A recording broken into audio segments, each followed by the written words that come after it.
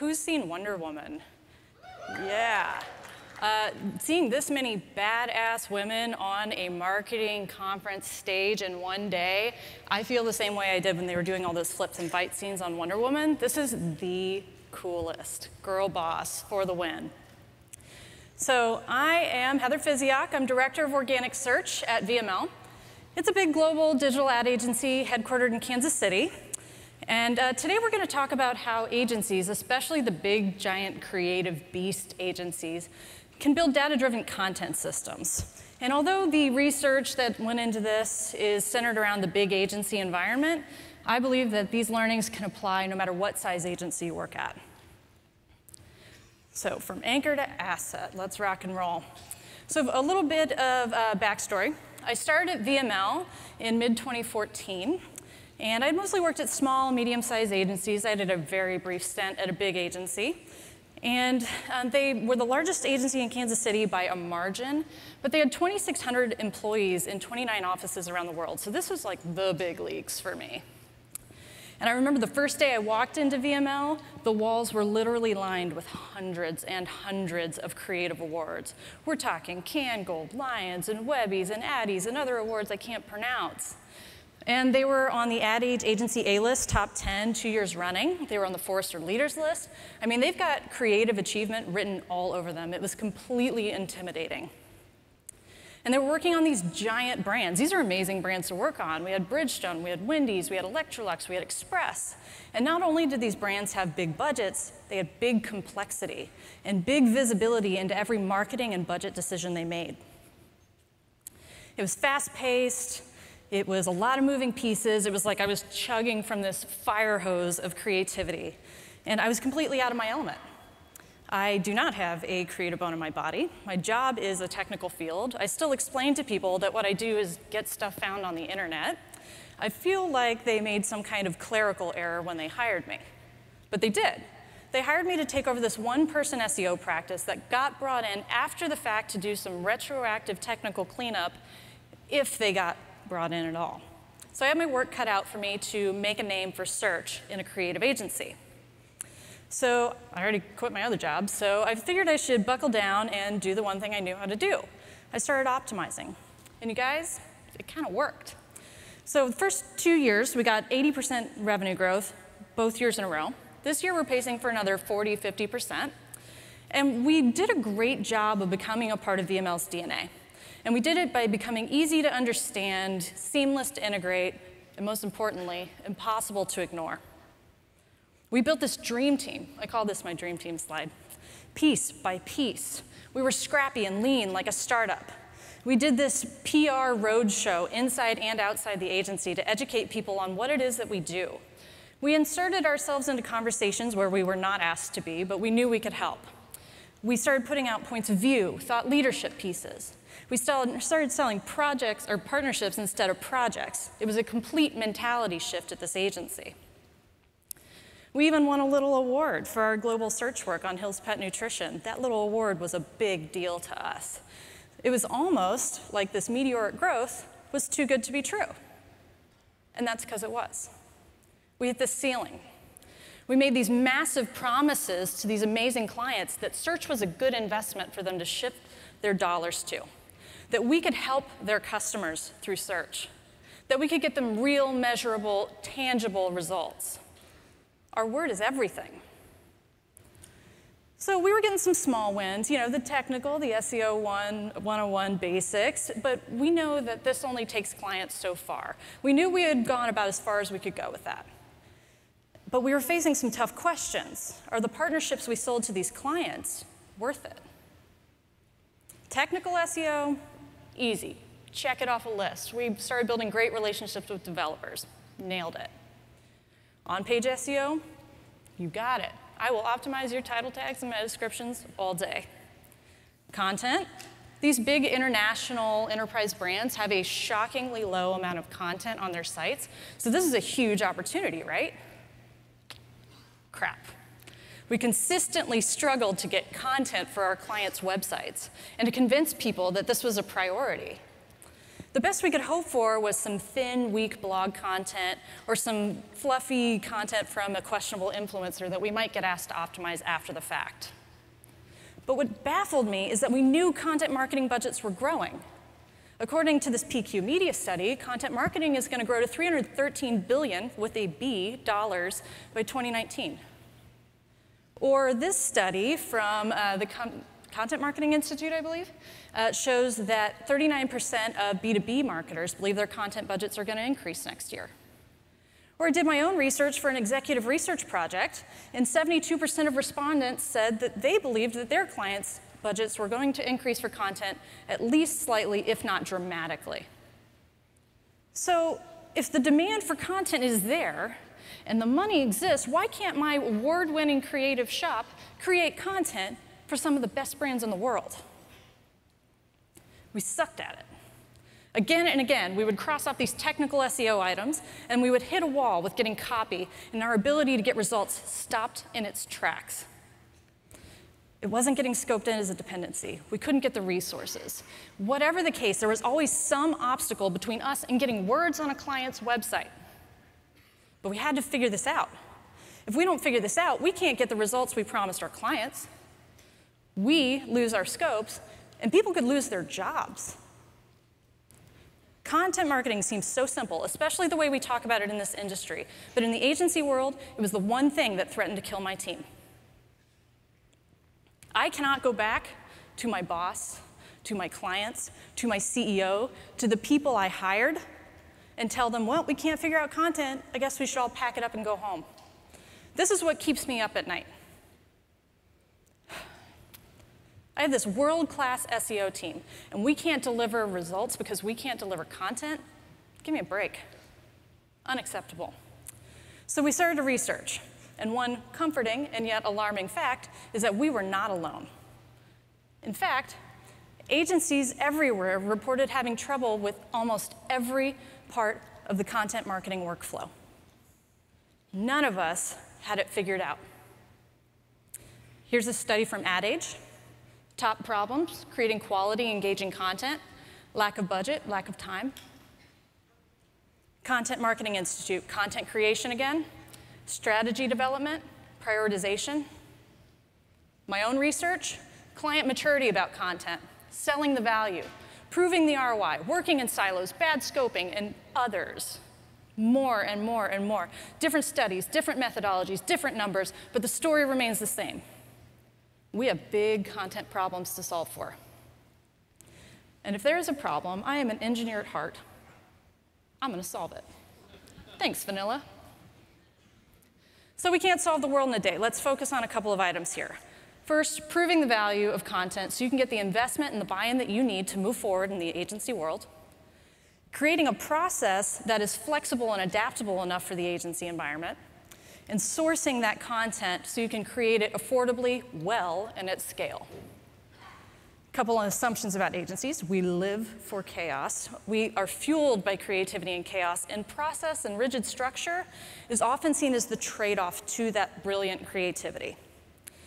There's never, ever, ever a one-size-fits-all approach in the agency world for every agency or every client.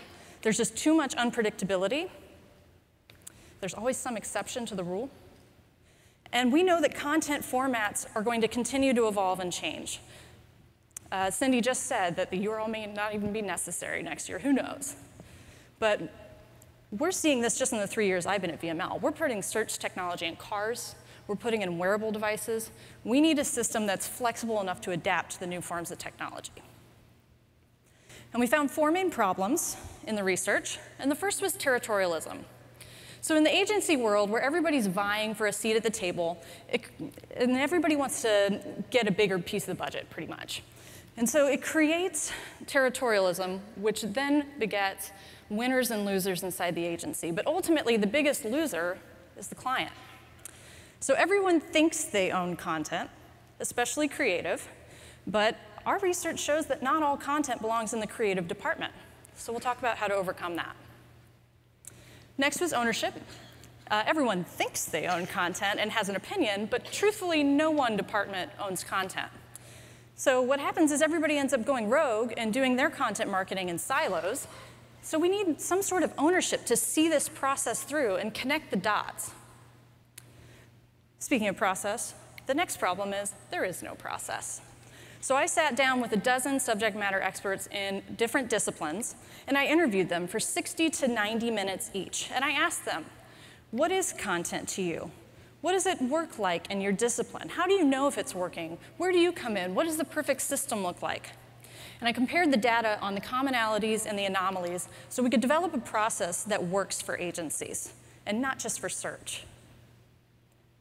Last, sourcing. We need to be able to create high quality content affordably and at scale, but without sacrificing the creativity that an agency is known for.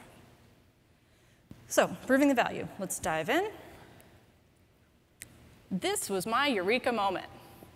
So, not everyone actually agrees on what content means. Looking back, this seems so simple and obvious, but to me, this was mind blowing. Creative thinks about content completely differently than digital does. There is a fundamental misalignment in definition. So if you ask 100 different marketers, which I did, to define content in their own words, you will get 100 different definitions, which I did. So this is the top 25 words that came up in uh, the content marketer uh, definitions. And these are good, right? These are pretty solid words. They're not wrong. They're pretty great. But the problem is, every definition from one to the next varied so widely that there was no consistency in understanding of what it meant. That's a big deal. So, as I dug down deeper, I found that the true dichotomy lies between campaign and continuous. So creative thinks of these big burst campaigns. It's a big effort crammed into one massive short test campaign or short-term campaign. And digital thinks of continuous content for the consumptive audience. And they think about it as new and improved copy and multimedia that's continually re released over time. That is a huge difference in understanding. No wonder we're having a hard time bringing content to life. We're speaking different languages. So we had to get serious about defining this inside and outside the agency. Here's how it breaks down. So campaign thinks about aspirational as this push marketing, inspiring people to action with big, short burst creative campaigns. It's memorable. They create a fabulous message, they push it out to the world, and they hope you like it. We can't do that in the digital world. We have to flip that thinking on its head and do the pull marketing style. We need to actually do the effort to understand what it is the consumer needs or wants and we have to fulfill it. It's not about what they want to do, it's about what the consumers want to accomplish online. And we either fulfill it or we don't. So, creative, of course, um, has very high standards for creativity, but for digital content, it can't just be creative for the sake of being creative. It actually has to service, serve a purpose, and we need a balance of both for brands. Creative tends to think of single stream. They tend to design campaigns around one or just a select few channels, wherever the media dollars and platform partnerships take them. But in digital, we think about how to adapt a story to live in many different channels. And it'll live on long after the media dollars stop. And last, it can be very costly to develop a campaign uh, in the creative world where it launches and lasts for a very short piece of time for one piece of content. But in continuous content, we need a lot more content, so we need to be faster, we need to be leaner, more agile, less expensive. Very different skill sets. So now that we've defined content clearly, so we can use this inside the agency and with our clients, how are we going to educate our clients so they know that this is the right thing to do? Pro tip, clicks don't mean shit. Pardon my French. And sorry to the French people that I just call that French. Money talks. Money talks. So website traffic is not and has never been enough to convince enterprise brands that they need to invest in continuous content. They have way bigger fish to fry. They're thinking about profit margin and shareholder value and market share. And yet, SEOs are so prone to promising rankings and traffic the website is the least of their concerns. That was a really tough pill for me to swallow that search was not the center of the universe. So we created a few tools to help clients understand the value of what we do and how we can bring content marketing to life for them. Why it's so important. So first tool, this is a super rough content uh, maturity model. And so it ranges down the bottom left from reactive, very ad hoc, with little thought to the management and consequences of the content that they're publishing, if they publish any at all, all the way to completely strategic, fully integrated. Content is a part of their DNA. Thinking about how their efforts are going to come to life through content is their default state. I would say that most of our clients probably start in that tactical space. They're creating some content, they're doing a pretty good job, but it's in silos and they're not connecting the dots. So we use this as a tool to educate them on where they fall in the spectrum and what it's going to take to get to the next iterative step in the process. Here's another tool. Growing base versus buying spikes. This is obviously completely fake data, but it does a really beautiful job of distilling down in a digestible way the difference between the value that campaign and continuous brings to the table. So smart campaigns they get these huge spikes in visibility, right? Uh, you get this big increase and then it drops to nothing. And then you get this big increase and it drops to nothing when the media dollars stop. And again and again. Maybe win some awards. Now, in the foreground, you got the black part here, or I'm sorry, in the background, the blue with campaign and continuous. Uh, this shows how the continuous digital content creation can support those campaigns. You get similar spikes when the campaigns launch, and then afterward it dips down too because the media dollars have stopped and that has an influence, but it doesn't drop to zero.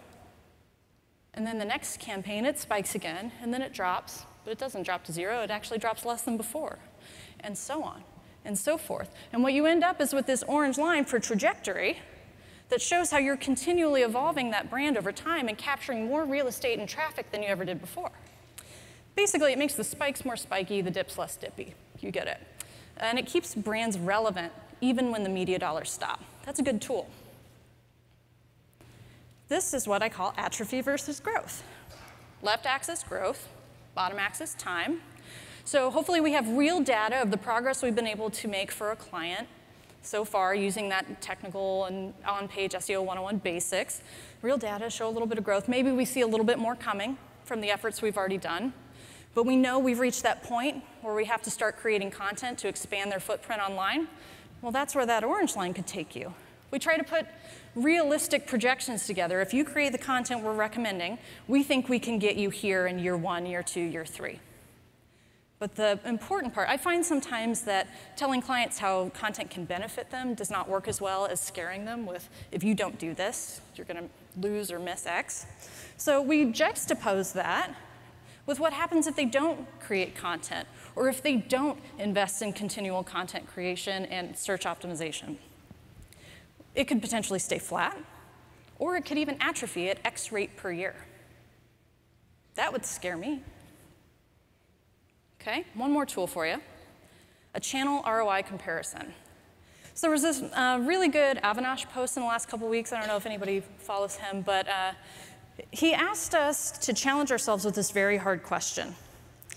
Is the time and the money and the effort that we are putting into these channels proportionate to the profit or the impact that it has on the other end?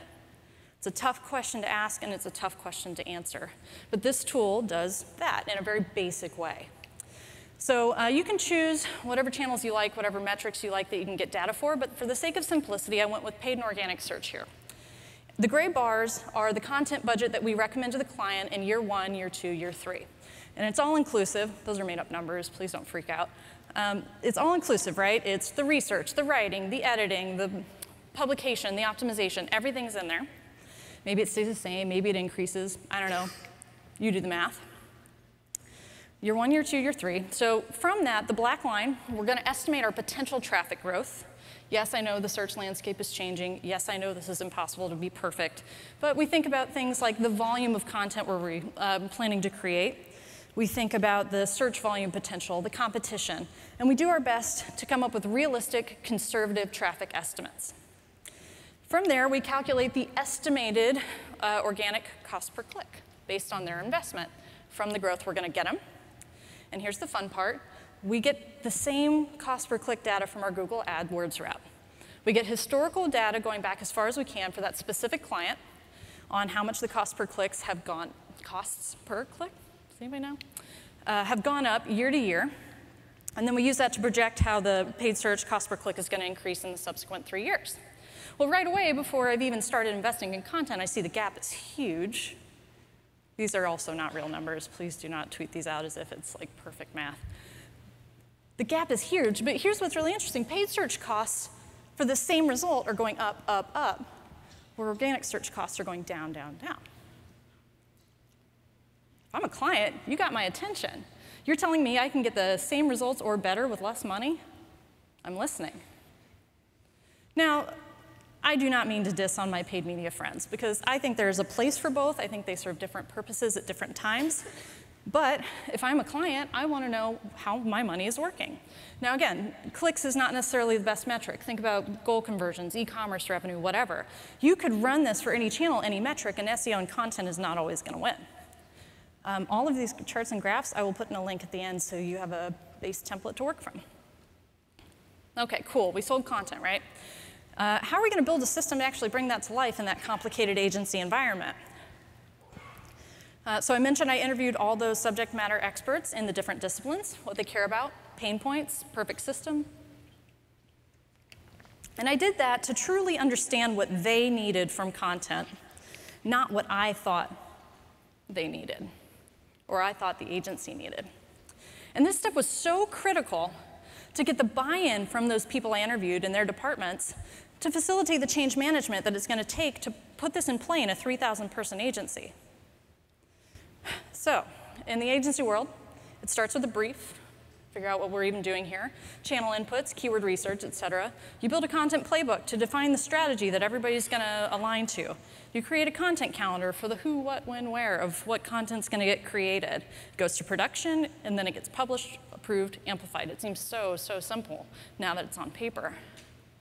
And at the risk of ruining a perfectly simple flywheel, this is what it looks like when you double click down into that in the agency world. The agency brief step has audience personas, brand research, competitive analysis. The channel inputs stage could have seven or more inputs by itself, keyword research, social listening data, PR threats and opportunities, user experience data, web analytics, behavioral analysis, and so on and so forth and so on and so forth. My point is not that this is the perfect agency flywheel for everyone. My point is you need to go figure this out in your own agency. Most people don't take the time to sit down with them and ask.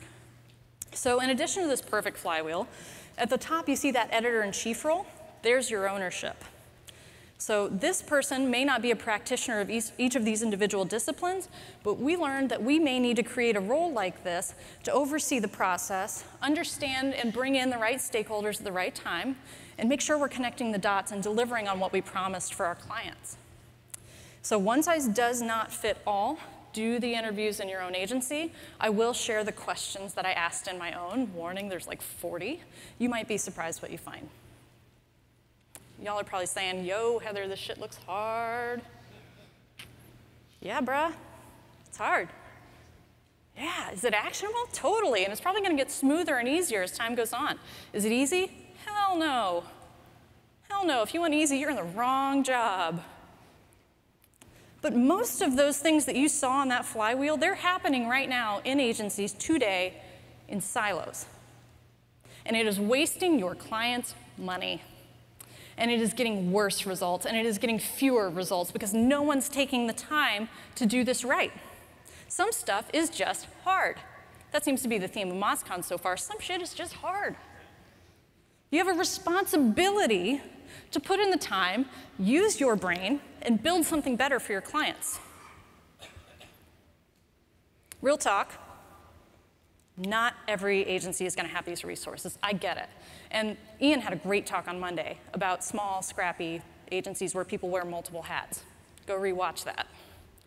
I get it. And not every client's going to have these budgets to cover that many resources. I get that too.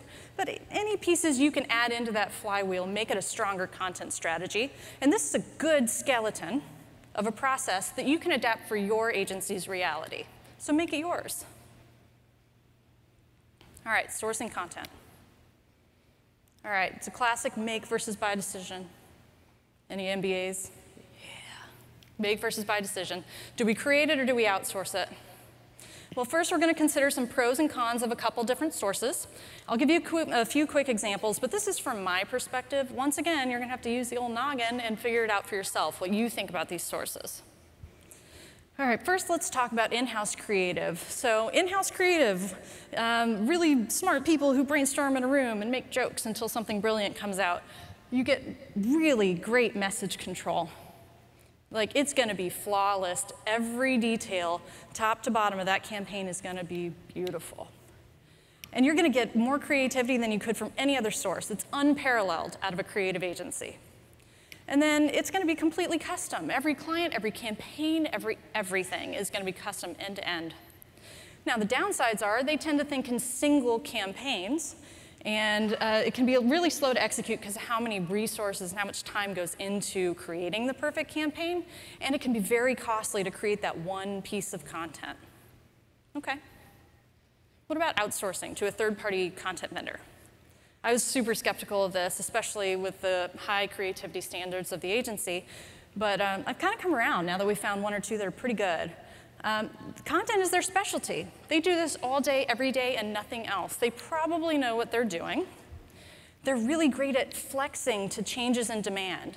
When things get heavy or when they need to back off, people don't lose their jobs. They have the resources to adapt to that, which is much harder to do in the agency. And they often have end-to-end systems where you can put all your necessary inputs in, keyword research, for example, and they route it through the team for writing and then to optimization and to legal for approvals and the client for approval, all the way until it's ready to publish back at the agency again. That's useful. And they can be really fast. Speed to market, very high. Now, on the downside, it does create extra steps. Sometimes that's outside the agency, and so that does create some complexity, I get it. Profit margin might get squeezed, might even go down to zero if the client goes direct to the outsourced vendor. Quality control can be a little tougher, um, and it may be a bit of a process to achieve the quality you want over time. And I would say this is lowercase c creativity. Like it's just, they don't have the same institutional knowledge and understanding of the brand that you do. All right, last one. This one's kind of fun. So we're seeing a lot more artificial intelligence vendors coming on the scene to machine generate content. And actually, Will Critchlow at SearchLove uh, showed some examples of this in uh, human writing versus uh, artificial intelligence generated writing, and people couldn't tell it apart. It is a scary place. But perks, it seems to be automated and relatively easy to use. You put stuff in, it does its magic, and out comes some content. Uh, it seems to be good at creating a campaign of multiple formats of content with the same message or project for different platforms. And it learns over time. It's going to continually get better and better and better. But it's still the early days of content via AI. And so it's limited by the inputs. It's a machine, we're humans. So if the things we put into the machine are not enough or are not the right things, we may be disappointed with what comes out the other end of that machine. And it's a machine, so it lacks human judgment. It doesn't know what's good or bad until we're giving it feedback in its feedback loop. And quality control is probably most difficult in this uh, particular content vendor channel. So this is just a few sources. Like I said, adapt for your own reality. But once we've done this exercise of sitting down and analyzing the pros and cons, we create a make versus buy decision model. So very simple. On the left axis, we may list out all of our different potential content vendor sources. And on the top, we list out different business criteria. I used a few examples here, cost to create, control over the process, how fast it goes to market, how creative it is, which really matters to our clients. Uh, there's other possible criteria listed along the bottom, and I do include this in the link. And then I kept mine super simple. I went one for worst, 10 for best okay? And then I had it spit out a score. And that helped me to prioritize which uh, sources or vendors would make the most sense to create content for our clients. Should we keep it in-house or should we outsource it? So you may use this to choose which tool your agency uses permanently, or you have it in your toolkit so you can look real smart when you pull it out for different clients and different projects. So, very powerful little tool there.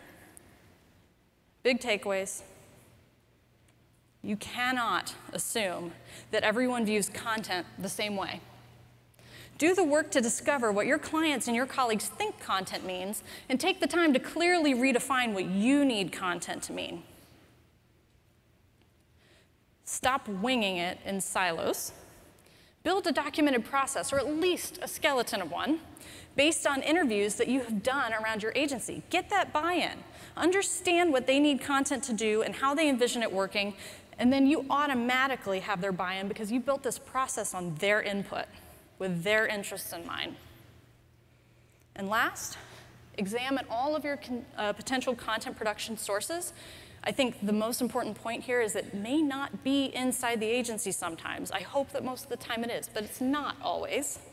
And weight them from your perspective and determine which ones are the right sources to use for which clients and which projects. Help them make that smart make versus buy decision. And with that, special goodies. That is mozcon.vmlconnect.com. uh. Username is VML all caps. Password MozCon 2017, M and C are capitalized. Everything I talked about is in there. Thank you very much. Party on.